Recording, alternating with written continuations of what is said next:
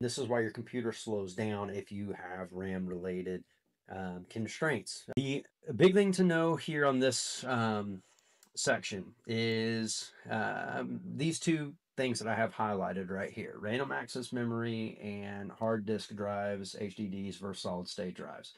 All right, so uh, RAM is going to be your volatile storage. What that means is the uh, memory is going to leave the RAM stick whenever we power down the computer. Anything there is going to be lost. Essentially, what happens is whenever you load up an application, whenever you power into an application or click on an application, say Adobe Photoshop, the software for that application gets some portion of it gets pulled into RAM and your working state, all the changes you're making before you click save um, are, are saved in RAM.